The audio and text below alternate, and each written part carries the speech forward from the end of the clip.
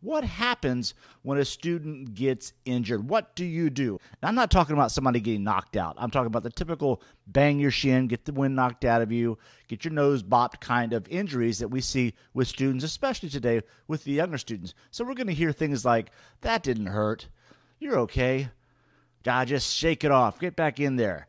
And the problem with that kind of response is that you damage your relationship with the student because you lose the confidence of the student. You're making a traumatic event into a trivial event, and that does not bode well with the student because you break the confidence contract at that point. At least you damage it. And what do I mean by the confidence contract?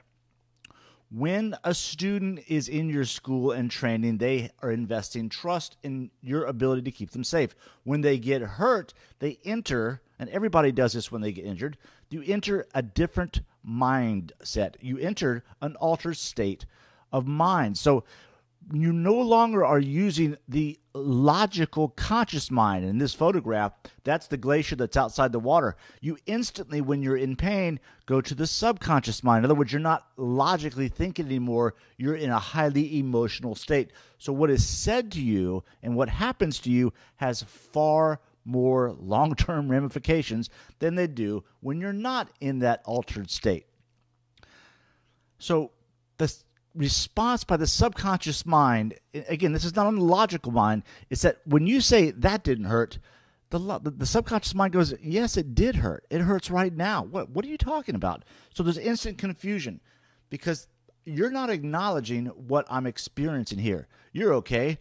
Why can't you see i'm hurt just shake it off what does that mean so again these aren't conscious logical retorts to these comments. This is just how the subconscious mind responds to this attempt to make your students tougher.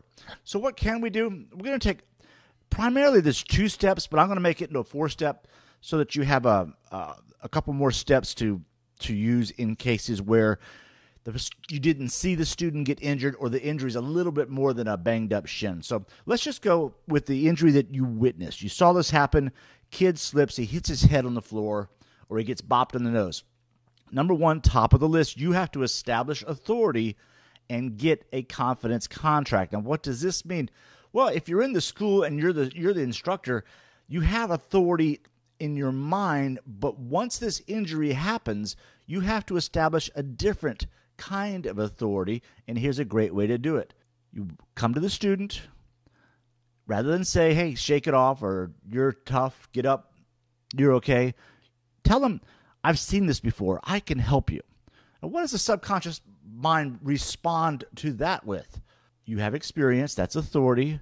You can help me. Oh, thank goodness, that's great. See how assuring those words are in contrast to the typical responses we see? Here's another great one. And this, this is with, with somebody that maybe is hurt a little bit more or a little bit more traumatized, and they need a, a stronger establishment of authority and a stronger contract. And this is it. If you listen to me, I can help you.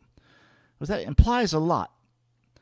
If you listen to me, I can help you. Because if you don't listen to me, you're going to continue staying hurt. That's the implied message. So, do you see how powerful these are as opening lines when someone is hurt, whether you um, know the person or not, whether it's a kid or adult? These two lines are great ways to establish authority and get the contract. Now, this is big. You want to acknowledge the injury and the pain. This is an instant trust builder. I know getting hit in the nose is no fun. That's happened to me a thousand times. In fact, I was just at my son's school helping out with uh, a field day playing football, and that's exactly what happened. A kid went up in the air, came down, his nose smashed into the skull of the kid under him. The kid under him seemed to be okay, but the kid with the nose smashed was really upset. And that's exactly what I said to him. I know getting hit in the nose hurts. That's happened to me a bunch of times. So that's the trust builder. Oh, this guy knows what I'm going through. Thank you. And then we get to the empathy. It makes your eyes water like you're crying and burns. Why do I say this? Because a lot of times people are, kids in particular, are embarrassed about their response to being hurt. So you want to say that the pain makes your eyes water. You're not doing it yourself. It makes your eyes water like you're crying and it burns. And this is this is this is the spin right here. Now you're going to pace them away from the injury. If they're panting and breathing and really upset, you want to get them to breathe with me. You're pacing the breathing. And and this is a great verbal pacing. The good thing is that the pain goes away real fast. Now, how do I know that? Well, I told them already. This has happened to me a bunch of times. Your body is already already healing, which is absolutely true. It'll just take a few seconds and then it'll be over. The good thing is that the pain goes away real fast. That's that's a relief to a student. Again, the student is in an altered state of consciousness.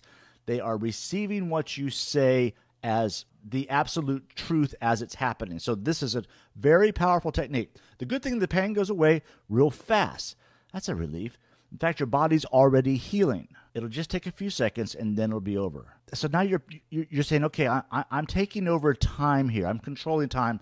In fact, I'm going to do a little NLP time distortion with you without you knowing it and pace you away from this event. So in eh, depending on the how upset the kid is and where you think a number is, I typically use seven. I think seven is a very powerful number. So I say, I will say about seven seconds, you'll recover and you'll be fine. Ready? Let's go. Seven, six, five, four, three. And I'm, and I'm kind of in between four and three. You get ready. Okay, here we go. Ready and up. Way to go. Way to recover. You're a true warrior.